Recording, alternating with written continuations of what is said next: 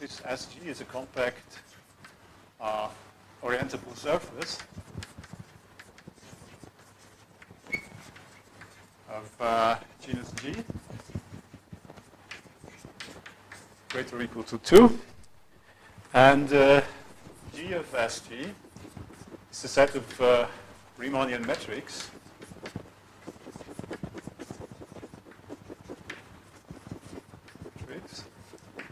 of uh, constant 1.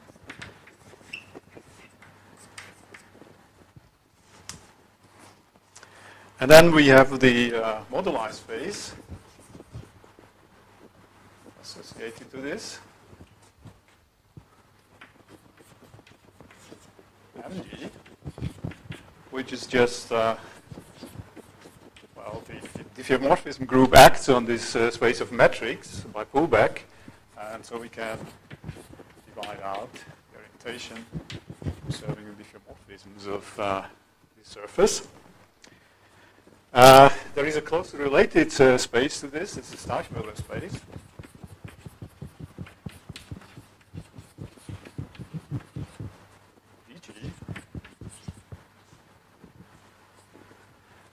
Um, which is uh, topologically simpler.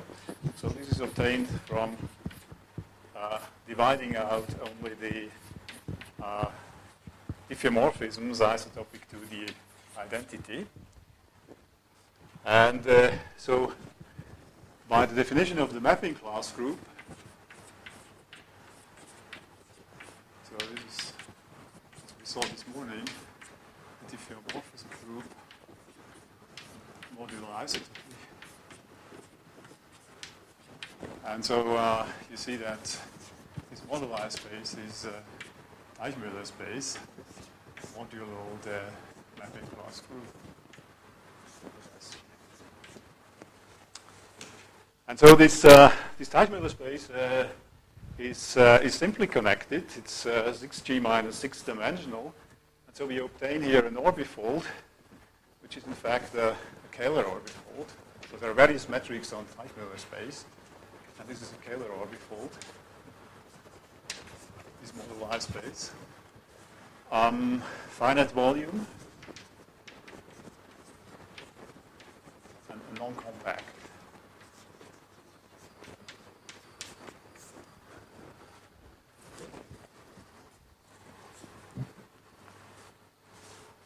Dimension is 6g minus 6. Real dimension is minus 8. Okay, now um, pick a Riemann surface, so let xg be a Riemann surface of genus G.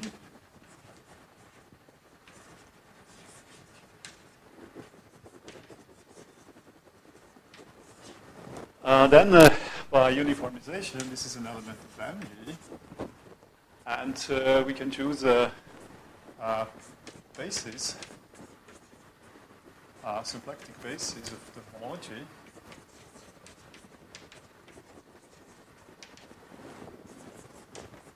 It's homology of, uh, of X, G. So it's integer coefficients. Um, say um, AJ, BJ. RJ is uh, from 1 to G between 1 and G. So here's the picture.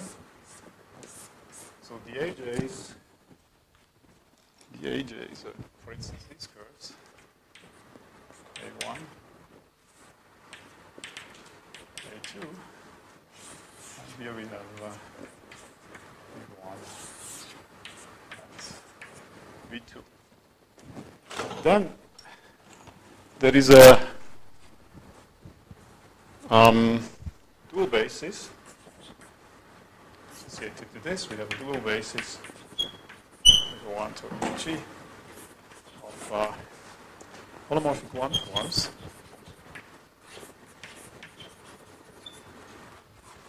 So we satisfy the, the relations that integral over agi omega i is delta ij And uh, having chosen this, we can, uh, this is essentially going back to Riemann, we can associate the period matrix.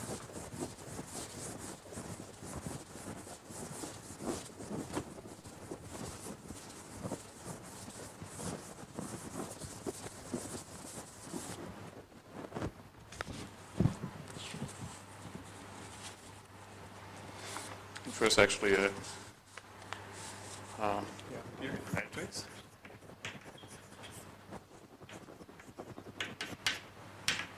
So this is a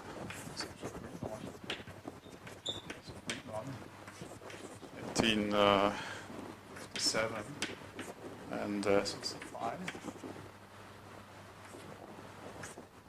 So the find a complex G by G matrix omega J complex uh, G by G matrix. G is the genus of the surface, but the entries are just integrals over the complementary of these one forms over the complementary curves. So B I omega G.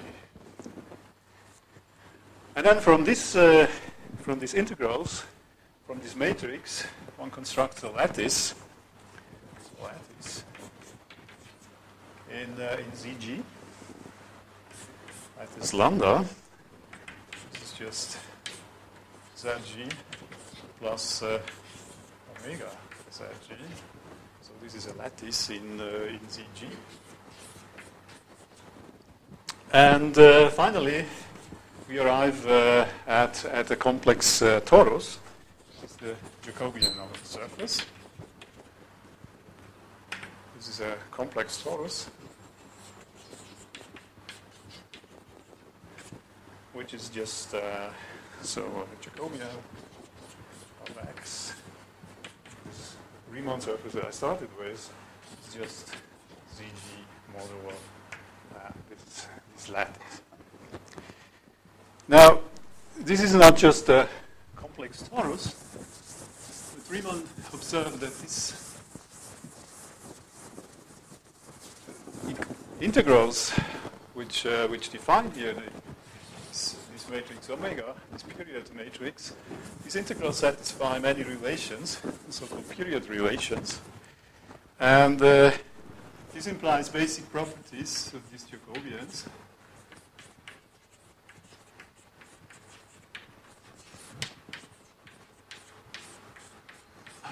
So the first one is, uh, this is a, uh, well, it's a it's a torus, so it's an abelian variety. A, a actually a, so it's more than uh, just billion; It's an abelian variety.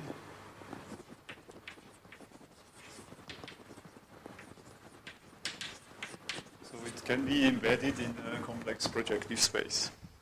And the second property, uh, following from the period relations, is that uh, this Jacobian is principally polarized. Principally. So this means that there exists a positive definite Hermitian form, which uh, is whose imaginary part is integer valued on, on, on the defining uh, lattice. Yeah? So briefly exists certain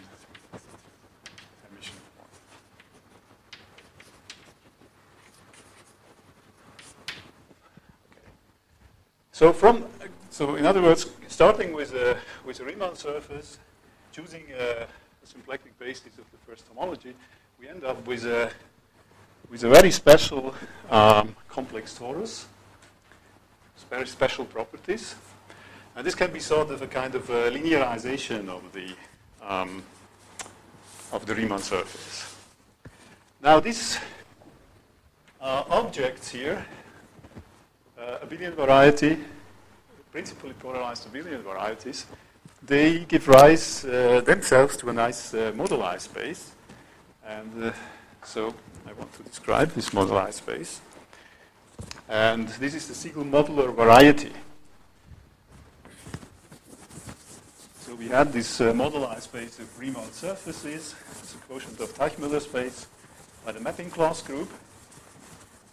And now we come up with another class of objects, and they also form a, a nice uh, moduli space, an interesting moduli space. And this is Siegel modular variety, which uh, describes this. So Siegel's uh, modular variety.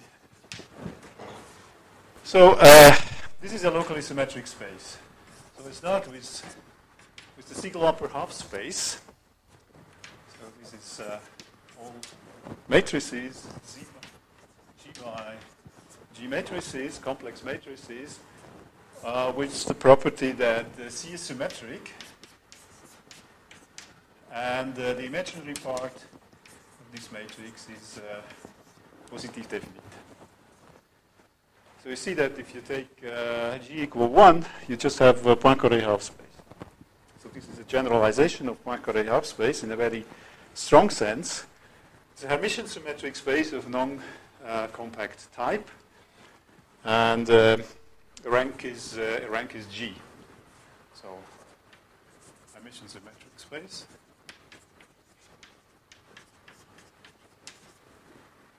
of uh, non-compact type. Uh, with rank G.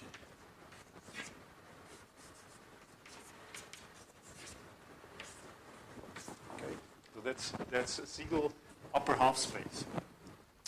And now the this is actually a homogeneous space. The group uh, uh, SP, the symplectic group, acts in this space isometrically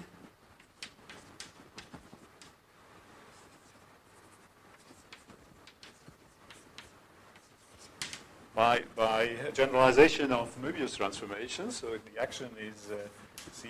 So if you have a, such a matrix, uh, and it's G by 2G by 2G matrix. So and uh, it acts in the following way. So we have A, B, C, D applied to such a uh, complex G by G matrix. This is just uh, the Möbius transformation. So it's A, B, AC plus B times uh, CC plus D inverse. So again, it's exactly the, the Poincare half space action, which you get for G equal 1. And then uh, there is a discrete subgroup, the, an arithmetic subgroup consisting of the integer matrices. And this arithmetic subgroup uh, gives rise to, to, the quotient. So um, if you divide out this uh, HG by this discrete subgroup, then you obtain a locally symmetric space, symmetric, of uh, dimension, uh, so of real dimension, uh, g times uh, g plus 1. That's, uh, and this space, this uh, locally symmetric space, parameterizes um, this principally polarized abelian variety. So this is the moduli space of principally polarized abelian varieties. So that's the second, uh, maybe I call this AG. So that's the second space which is involved.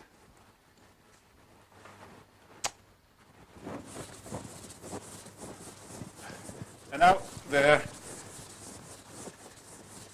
period relations of Riemann imply that uh, this period matrix, omega, is actually an element which satisfies these two conditions. So it's an element in the, in the Siegel upper half space. And this element was constructed, this matrix was constructed by choosing a symplectic basis. So if you choose another symplectic basis, symplectic basis of uh, inverse homology of X, uh, then you get uh, again as a period matrix, omega prime, and this is the form gamma omega. Omega was the period matrix I obtained before, uh, where gamma is just in this uh, symplectic group, SPG. So putting all this together, uh, what one obtains is a map J going from the moduli space of, uh, Riemann surfaces to this uh, space of abelian varieties, which just takes a Riemann surface, isometry class, uh, manifold of so the surface of uh, constant negative curvature, and maps this to uh, the Jacobian of X modulo this uh, uh, equivalence relation. So this is a well-defined uh, map, and this is called the, uh, Jacobian map.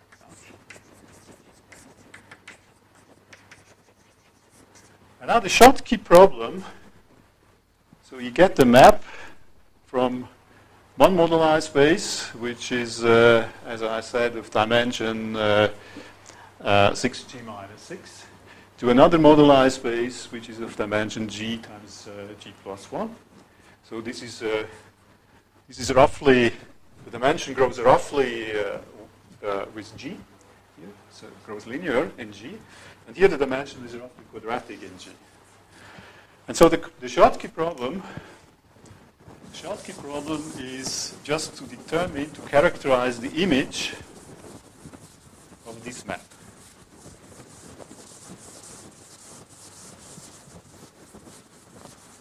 That's the, the classical the classical Schottky problem.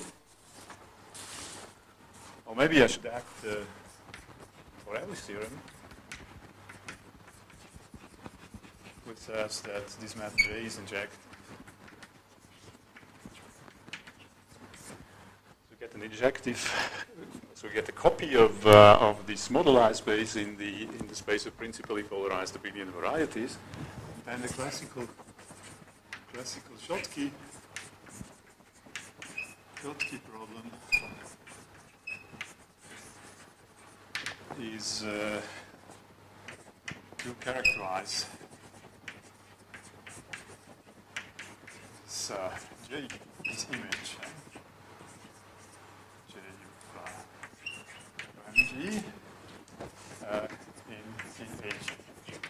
So to to characterize the image uh, of, of this, this map, or this Jacobian locus, by, by some special properties, at least if uh, G is greater or equal than 4, then you have uh, start having a big codimension. And this is a, problem uh, asked by Schottky in, posed by Schottky in 1888. And in his paper, he treated the case uh, G equal 4, and the idea was just, so if you read this paper, then uh, the idea of Schottky was just give some equations, describe some equations uh, similar to the period relations, which uh, just, uh, in some sense, cut out the, uh, in AG, this, this image. So describe the image by equations. And, well, there was a, there is now there was a lot of uh, work in this problem, still ongoing. It turned out it's a very hard problem. Uh, there are many solutions this problem involving uh, a lot of machinery, algebraic geometry, theta constants, uh, even uh, soliton equations, partial differential equations. So there are a lot of, uh, of work uh, done in this uh, in this area, and it's still ongoing. So it's a problem which is which one works on since 120 years. Um, a certain deficiency of all these of all these solutions seems to be that um, if you pick a point here in AG, just take an explicit abelian variety, principally polarized abelian variety, then it's very hard uh, to explicitly or directly decide is this a Jacobian or is it not a Jacobian. Uh, so it's, it's even if you have a lot of uh, descriptions or uh, theories about this uh, image, it's, it's still very hard to, to decide such a, such a question. And of course, the, the, the Schottky problem is, is to characterize, and this is very imprecise. Just a philosophical question in some sense. What does it mean? Yeah, so describe the image in some sense. There are many ways to do that, and as I said, things are still going on. Now, I want to uh, not to talk about this classical problem, but now I want to switch a little bit the, the point of view and uh, starting to look at this uh, question of this characterization of the image or the structure of the image or the shape of the image from the point of view of uh, large-scale geometry, coarse geometry. So the um, a different point of view. So the coarse, the coarse or large scale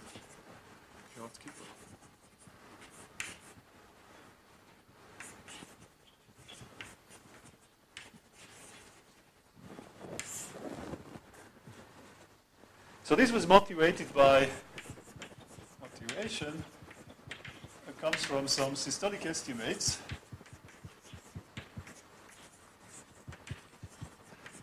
Systolic estimates, um, which I want uh, to, to describe. So we start with, uh, with an element here in, uh, in AG. So this is uh, the basic setting. We start an element A uh, in AG. So it's just torus, ZG divided by some lattice, and it's polarized. It means that you have some additional Hermitian form. So this is an element in, this moduli space, just principally polarized to abelian variety. And then we define a number uh, for this, uh, so it's complex torus. We can define a number using this Hermitian form, namely the minimum of uh, the values.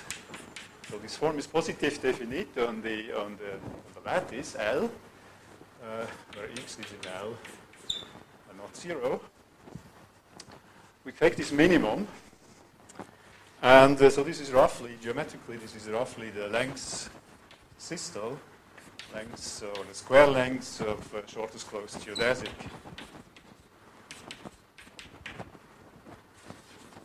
in this uh, in this Torah.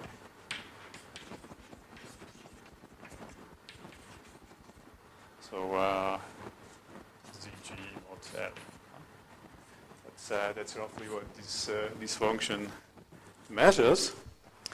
And uh, so this gives a function s from AG AG to uh, R. So just uh. And uh, so this function is uh, is uh, the exponential of a Busemann function. And uh, the thing is closely related to, to sphere packings. So if you have a lattice, uh, then you so uh, you, you place spheres in the in the in the points of the lattice. So this is part of L, and you place spheres, and then the, the maximal spheres you can uh, place, which are which do not intersect, depend on this number. So you have the shortest uh, vector here, and you can just choose uh, spheres of this radius. Huh? And so this is a, is a, so sometimes it's called the Hermite invariant. It's, uh, it measures the, the, it's related to the density of uh, lattice packings. And uh, so in this context, in this context here, I see it as a, as a kind of a Busemann function. So heuristically, it measures uh, the distance uh, to infinity, uh, distance to the boundary. So that's the way one should think about this. S measures distance to uh, boundary or to infinity.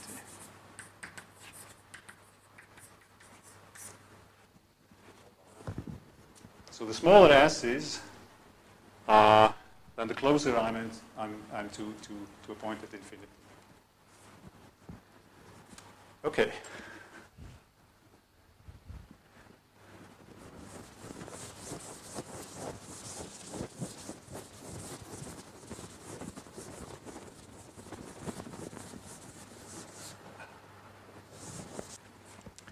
Um, the, the fact is a fact that if you measure, if you evaluate the, this, this, the maximum of this function, so if you are looking for, as I said in this picture, if you have a lattice, then you just take the shortest uh, closed geodesic. This gives uh, uh, a measure for the density of the, of the spherical packing. And uh, so if you want to have an optimal packing, you're looking for uh, the maximal possible value of S. So geometrically, this means that you, you take a point, you're looking for a point which is as far away from infinity as possible, the maximum of this, of this minimum.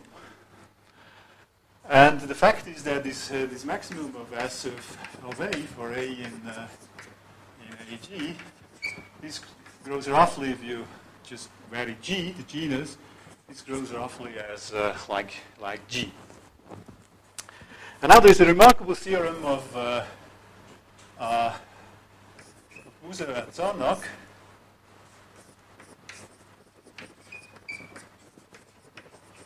From uh, 1969, uh, 96, 94, sorry, um, which uh, says that says that in fact, this uh, image of uh, the Jacobian, so the Jacobian locus, is in fact very close, so very far out in the near the boundary. So the precise statement is this. So J, G, is the image of the uh, uh, Jacobian locus of uh, the moduli space. Uh, this is contained in a subset, Ng, which consists of all points, polarized abelian varieties, such that the value of this uh, systolic function is less than uh, 3, 3 or pi log 4g plus. So this is, uh, so on the whole space it's about g, so the maximum is about g. Here, the, the maximum of the function, the func uh, which the function can achieve, is, is, is much smaller. It's log g. And so the, the, the, statement is this whole uh, Jacobian locus is actually sitting in, in this subset. And this is very small. If you look at the volume of Ng compared with the volume of the, of the full space, uh, AG, then this is uh, something like O to the G minus G over 2 for large G.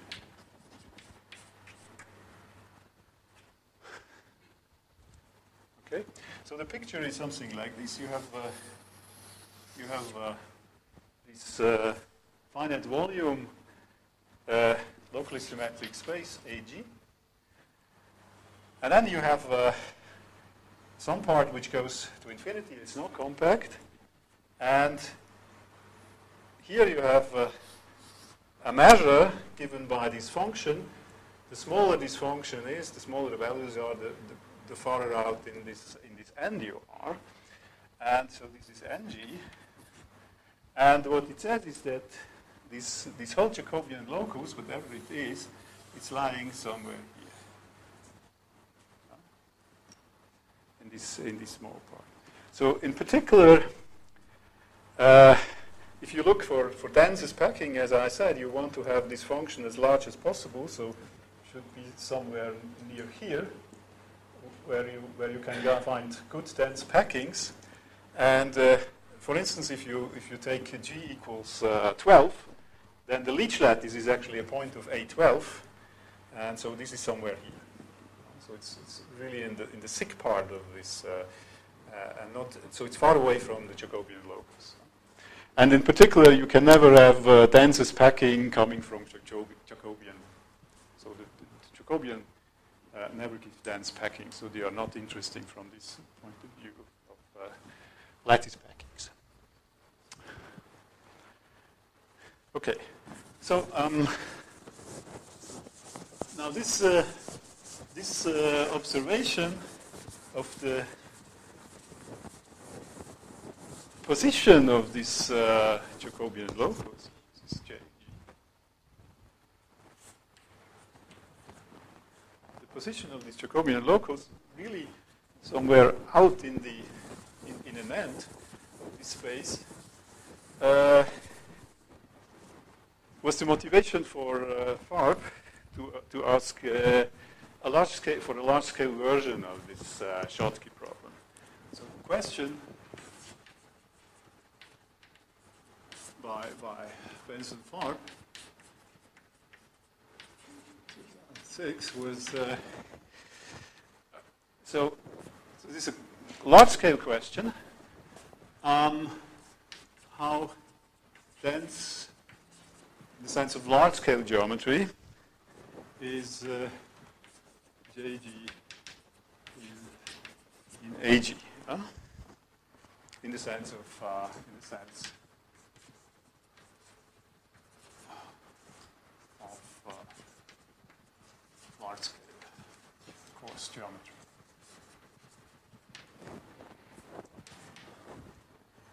And uh, so to make this more precise, I need, uh, uh, I need an asymptotic object, a large-scale object associated to this uh, manifold AG. This is locally symmetric space, and this is the, the asymptotic cone. So I want to make this question a little more precise. So define the, the asymptotic cone of uh, of AG to be the, the Gromov-Hausdorff limit of uh, a pointed rescaled space. So you take the this manifold AG. This comes with a, with a locally symmetric metric. And so you rescale this metric. So you have a locally symmetric metric. You scale it by a factor 1 over n and you fix some point. And then you take the limit n going to infinity.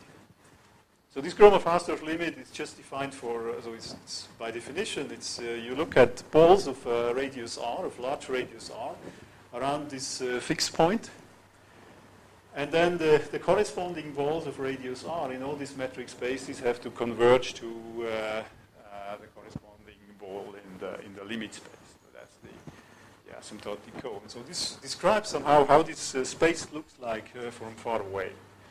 Uh, so if you take, for instance, uh, so a simple example is uh, if you take a, a, digression, if you have a surface of uh, negative curvature with some cusps, and then you rescale, then this surface becomes thinner and thinner. And if you rescale again, then eventually you just see uh, three rays describing the ends of these spaces. If you have a, a surface uh, with just one end times another surface with, uh, with just one end, then uh, if you go to, to the limit, so you have just a, a product, and the asymptotic cone is just a sector. So that's what, what you get in this, uh, in this limit. And now this uh, asymptotic cones for, uh, for this uh, Siegel modular variety, uh, this is uh, just a special case of the asymptotic cone of uh, an arbitrary locally symmetric space. And this is, these are, are known. So that's a theorem by going back to Hattori, Ji. MacPherson, and, and myself. And it says that this cone, this asymptotic cone of AG, uh, is really a cone. It's a Euclidean cone. So this is a, it's isometric to uh, g-dimensional, g-dimensional, so isometric, g-dimensional Euclidean cone. cone over some simplex. So it's just looking like something like this.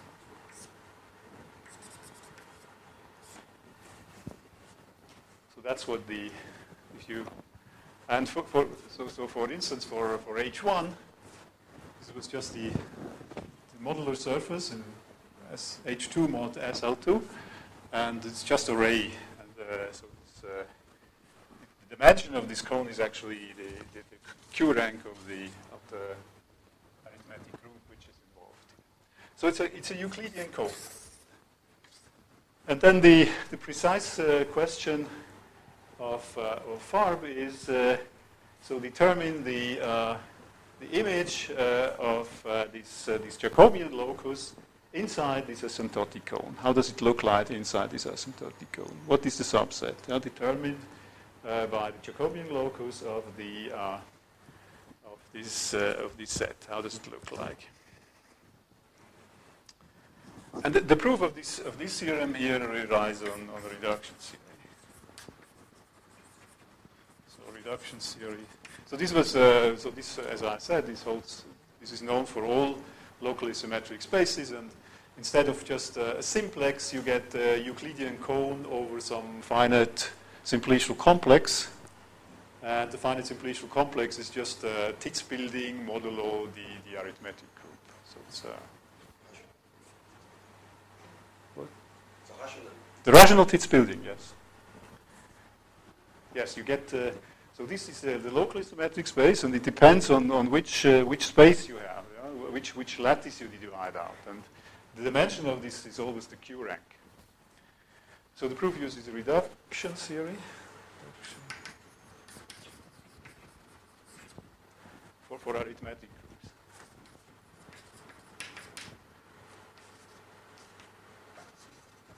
So construction of fundamental domains uh, in, for, for such groups.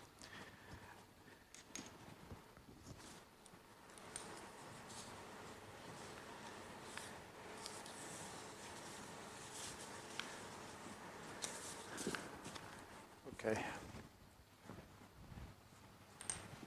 So, so Farb's question then.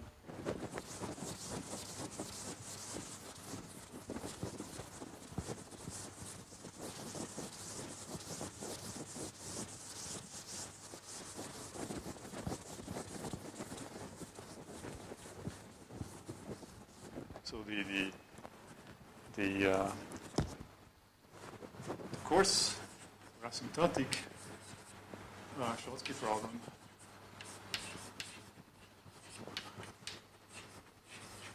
Is then characterize or describe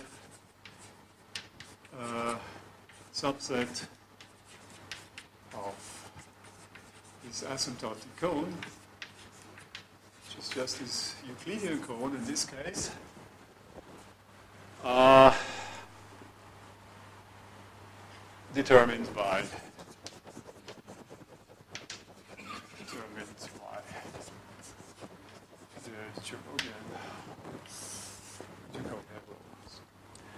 I note that the that the dimension dimension of this cone here of AG is in fact G, which is the Q rank here of uh, the Rank of the arithmetic. And at the same time, it's the rank here of the, of the symmetric space. That's, that's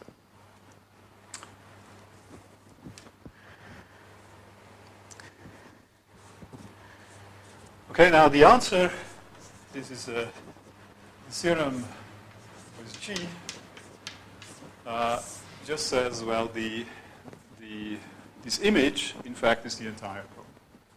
So the Jacobian locus um, seen in the asymptotic cone is the entire cone. So the theorem is that the subset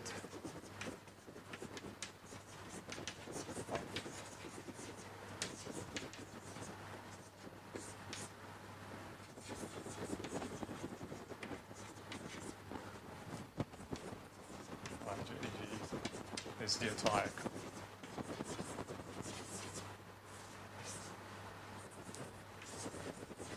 Everything. So more precisely, more precisely, uh,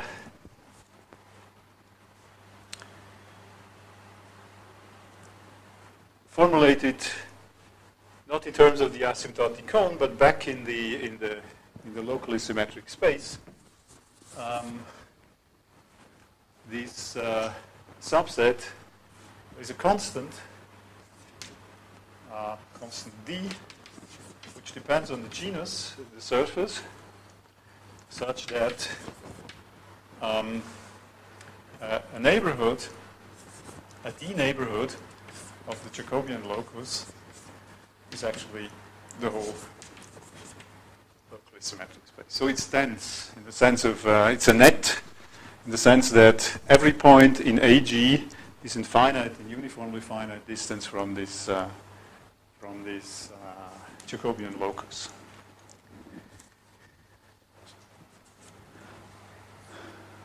So this seems maybe is a little bit confusing, and if I look at this picture, but the, the point here is uh, in this in this statement we have the the um, constant is fixed, maybe large here. This is something like uh, log g. Growing with like log g, so it may be large for large g. But um, uh, the point is, this uh, this Jacobian locus really goes out, so it's it's it fills this this cast. This, is, this goes to infinity, and the, the Jacobian locus also has to go to infinity, and it's everywhere in, in, in finite, in finite distance. And the, uh, this, this constant uh, grows with, uh, with, with, with uh, the genus. Okay, so, so let me say something about the.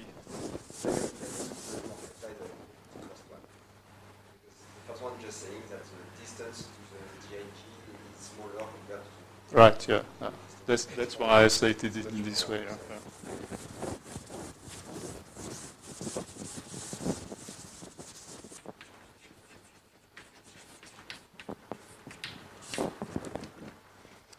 So um, the starting point is, uh, is uh, how this asymptotic cone of the moduli space was, was determined. And this uses uh, the solution of a conjecture of, uh, which goes back to Siegel. And it says the following. Here you have the Siegel upper half space. And uh, you have the projection to, to AG. So AG, which is just the quotient HG by the symplectic uh, group. And uh, so this, this, this question of Siegel, or this, this conjecture of Siegel, which, uh, which was proved, uh, says that you find some cone, in fact a Weyl chamber, a rational Weyl chamber, in HG, which is under the projection goes to some cone, some Weyl chamber in AG, such that if you restrict the projection map to this subset, and it's an isometry. So there is an isometric projection from the uh, Siegel upper half space to the locally symmetric space. And for g equals 1, it's just uh, you have the, the famous uh, fundamental domain for the uh, so in H2, so for g equals 1, just huh? Hg is just uh, Poincare half space. And then this, this uh, chamber is just a ray. And you see that if you take this ray in the, in the upper half space and you divide out by SL2C, then uh, you have this ray again. And if you, if you move up sufficiently high in the, in, into the cusp, then this is really an isometric copy. And exactly the same thing holds in, in higher dimension. And this is a phenomenon which also holds in, in, in general uh, symmetric spaces. So that's the first uh, fact. This is Siegel conjecture. Siegel, Siegel,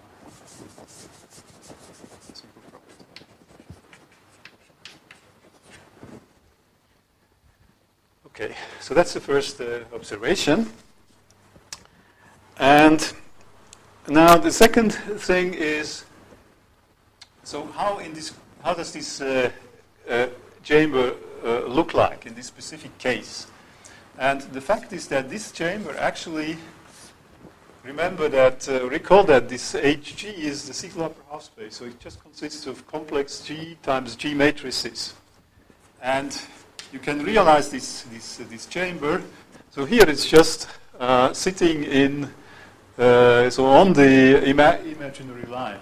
Uh, so it's just purely imaginary numbers in, in C. And here you have a quite some kind of analog you have diagonal matrices, Z1 to Zg, and they are all in Hg, so these are all matrices which are symmetric. Well, it's just a complex number. And the imaginary part is positive. So these are all elements in upper half, half planes. So this is actually an element of uh, hyperbolic plane G factors. G factor. So it's in, this Weyl chamber sits in a copy of uh, G and a product of uh, G factors of hyperbolic planes inside this uh, Siegel upper half space. And now this is totally geodesic, sitting, uh, so this actually sits in HG, totally geodesic, embedded. These diagonal matrices, the Weyl chamber sits inside. And then if you project uh, this, and you restrict the projection to this, uh, to this subset, uh, then you just arrive this, in this Weyl chamber here. So the idea is just uh, this Weyl chamber here in the, in the bottom in AG is, uh, is a net in AG, so everything is in finite distance of this Weyl chamber. So if you have here AG, this is AG, then we just have some Weyl chamber here. And everything is in finite distance of this Weyl chamber. It's a net. And so to, to prove the, the thing for the, for the Jacobian locus, you just have to, show to show that you find period matrices of this type, or close to, to such diagonal matrices. Then they are close in, in the Siegel upper half space to such a chamber, projected down to this, and then you end up with points which are close to this, uh, to this cone. Uh, so that's all. So what you have to find is eventually uh, period matrices which look like diagonal matrices. And now, how can one find that? Well, look at this. Uh, so what is this? This is just the, the this H2. So every, every diagonal matrix uh, corresponds to uh, a product of uh, G factors of H2. And H2 is, is the upper half plane. And so it parameterizes uh, flat tori, uh, two tori. And so the idea is if you have a Riemann surface of genus G, uh, how do you see, uh, what do you have to do, which surfaces of genus G do you have to choose, which are close to uh, just G copies of, of, of tori, and, and well, you just choose uh, surface which is which looks like this. So really very thin. So you have here, uh, you have here, essentially you have here three tori. So the period matrix is, is roughly, it's not, the, it's not the product of, it's not the diagonal matrix. There are often diagonal elements. But now if you shrink these, uh, these curves, then these off-diagonal elements are, are bounded, they go to zero, and you are uh, close to such a diagonal matrix. And in, in, this, in this moduli space, this means you are close to this, uh, to this, uh, to this chain. That's the, that's the idea. Yes. Yeah. Okay, so that's the uh, that's the idea of the. yes, you Right, yeah, you take, So in some sense here you see the, in the Teichmüller space you, you really go, with this you go to, to the boundary. You, really go to, to, the, to the limit, you have some, some stable surface. So you, you, you have a point in the, linear for compactification, which is really, would really be the diagonal matrix. But this is not in the moduli space. This is not in AG. But you come as, as close as you want to something like this. And then you have, of course, uh, well, you have some uh, off-diagonal elements, so some kind of, uh, so this is in a flat, and off-diagonal means you just have a perturbation by some uh, nilpotent elements. Huh? So, so you are close to this one. But it suffices to, because this is a, it's a, it's a coarse uh, geometric argument, it suffices to have points, sufficiently many points near this diagonal, near, near this cone. So that's the, that's the, the idea. Okay.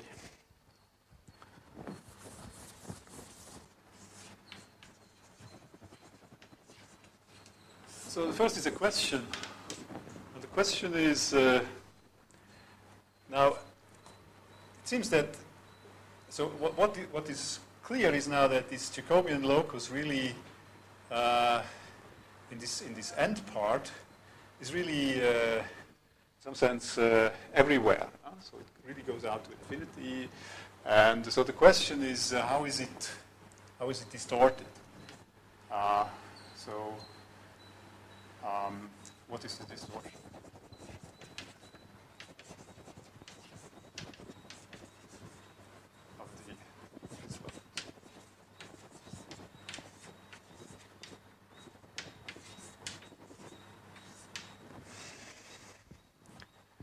And, and the key to that question would be uh, the key would be to understand how this uh, this this Jacobian locus uh, is somehow folded. It's, it's, it's folded in, in some sense. Huh?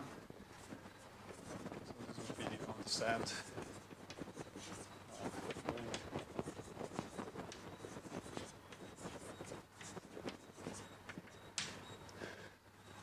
How this. And uh, so this is work, somehow, somehow work in progress. And uh, so the the hint that there is some, some folding comes from the from another result, namely this, this asymptotic cone. Um, we can consider this asymptotic cone also for the moduli space. And uh, the, so the, the asymptotic cone of the, the moduli space we find in the same way as just as uh, taking uh, pointed Gromov-Hausdorff limit of pointed uh, spaces by rescaling any metric on the moduli space, uh, Teichmüller metric, uh, any complete uh, metric. And uh, so this is, uh, in fact, isometric to another cone, so another Euclidean cone. It's exactly the same. complete analogy to, to the other asymptotic cone. It's a Euclidean cone over here again, a finite simplicial complex, and it's the uh, over a finite simplicial complex. And here is the analog of the rational uh, of the rational Tits building in the locally symmetric case. So here it's just uh, the curve complex, the curve complex of uh, of SG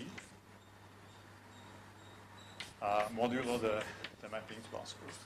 So that's a finite, finite uh, simplicial complex, geometric realization, and you take the cone over this. And the dimension, the dimension of this, uh,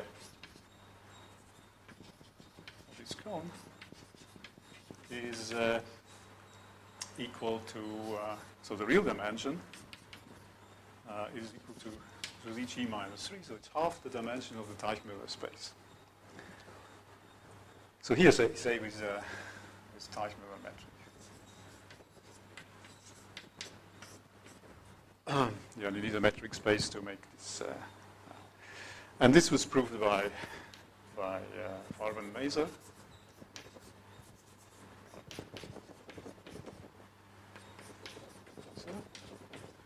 And uh, independently by myself.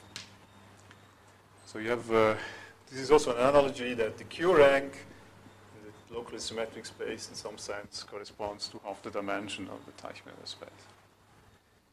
Okay, so, and now what I wanted to say is here you have really a simplicial complex, so you have some, some, uh, some finite uh, complex, a finite number of simplices, and uh, the dimension here is also, uh, for large g, it's roughly g, growing with g, and the same thing here, the dimension of the, the asymptotic cone here in the, in the locally symmetric space, in the moduli space here, uh, is, uh, is the rank, the Q rank, which is also roughly G.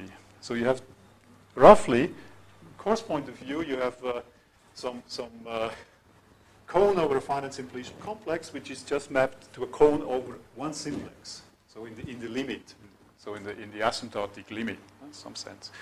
And this means that there is some folding, there should be some folding.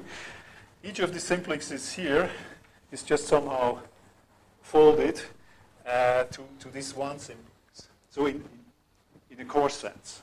And uh, so this means that the, the, whole locus must be somehow folded uh, in, in, the, in, in, the, in the moduli space. And the question is, uh, so, so it, it's reasonable that it's extremely distorted, but in a trivial sense, yeah? That you just have, uh, you have a short distance here, but an intrinsic, long intrinsic distance, but this just comes from folding. It's not really a distortion uh, on, on, on uh, due to, to other phenomena. Okay. so the, the code for MG is much, it's much bigger dimension than the dimension of the code for AG. Pardon? So it has to be, the dimension of the code is much bigger for MG than for AG. So it has to be for Yeah, but it's, uh, I mean, for large G, it's just, it's just a factor three, yeah? Here it's, uh, okay, yeah, yeah, yeah. Yeah, I mean, this is a, I mean, this is a heuristic argument. I do not say anything. yeah? It's just an indication. What you say here directly, because you are at infinity, the stable curves are at infinity in the United space. Yes. But you are approximating finite points in uh.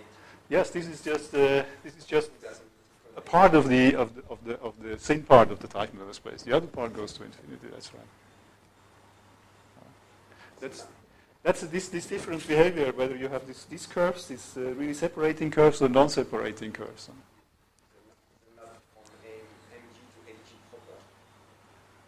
Uh, no, No,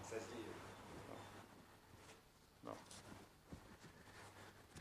Okay, so uh, uh, this is a question and some indication. Uh, and uh, another remark is that you can do similar things for, there is also a, a, similar uh, Jacobi map for, for, um, for graphs, for metric graphs. So you have uh, so similar results. Hold for uh, modular space of, uh, of metric graphs. So quotients of outer space. There you have, uh, so you can associate, if you have a metric graph, finite metric graph, you can associate a Jacobian, you can imitate that. And uh, so there is a kind of Schottky problem in uh, what is called uh, uh, toric geometry and tropic geometry. And the um, what does not hold is the, the Torelli theorem. So the Torelli theorem holds in a, in a, on a certain subset of highly sufficiently high connected graphs, and then you have a similar thing, but this asymptotic picture is the same. Okay, so uh,